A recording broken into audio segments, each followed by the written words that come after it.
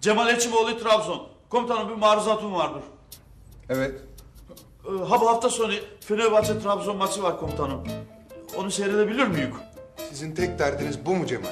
Yok komutanım, esas det bu değildir. Onlardan 3 puan alsak bile diğer maçları da almamız gerek. Yoksa UEFA'ya gidemeyeceğiz. Bak şimdi çok üzüldüm Cemal. Maçla falan uğraşacağınıza adam gibi asker olmaya çalışsanıza. Niye ki komutanım? Spor da iyi bir faaliyettir. Ne demişler hem? Sağlam kafa sağlam vücuda bulunur.